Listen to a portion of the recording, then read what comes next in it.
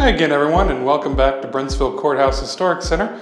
My name is Nathan McDonald from the Office of Historic Preservation, and today we're here to talk a little bit about um, some seasonal history.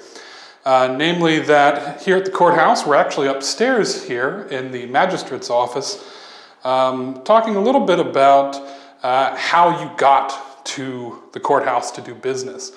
In uh, those days, of course, everything's conducted face to face. There's no real way to communicate easily long distances to hold court sessions, court business. So once a month, uh, a quorum of the 21 county magistrates had to meet here at Brentsville, uh, discuss court business, handle routine matters mostly. And then once a quarter, um, that would usually be in March, June, August, and November, uh, they would meet to hold and conduct usually criminal trials, larger businesses like that. And then May and October, the circuit court would come and hear major cases, felonies, complicated wills law disputes and things like that.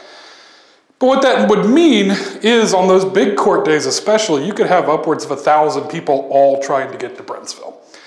Now, looking at a map of the county, Brentsville is fairly central. It's located along several major roads, but it's also right at the meeting point of two major streams here in this part of the county, Broad Run and Cedar Run, which both meet down here shortly uh, below the courthouse.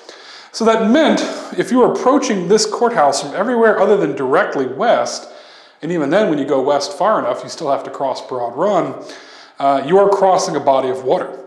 So especially this month, uh, January of 2024, it's a great thing to talk about because we've had plenty of rain this month that's caused some flooding and some difficulty.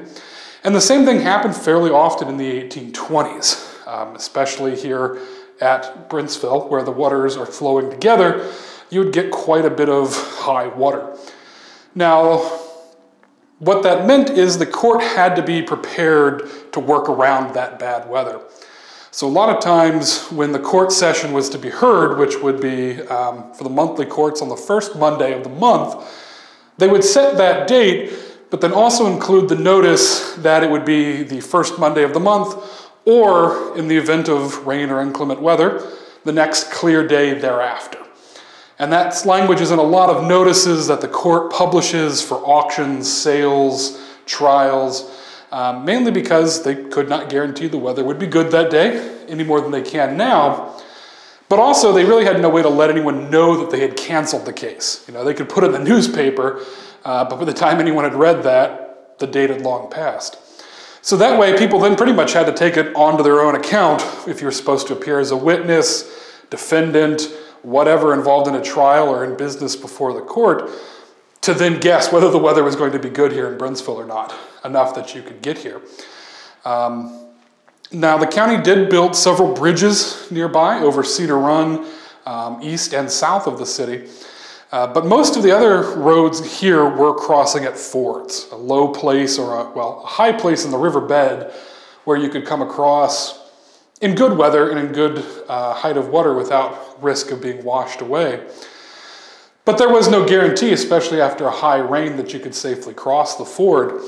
Uh, one of the cases that was popularly cited when the courthouse was moved to Manassas uh, was that of a local attorney who was nearly tipped over and washed downstream in Broad Run trying to cross it in heavy rains to get to a court date that hadn't been canceled.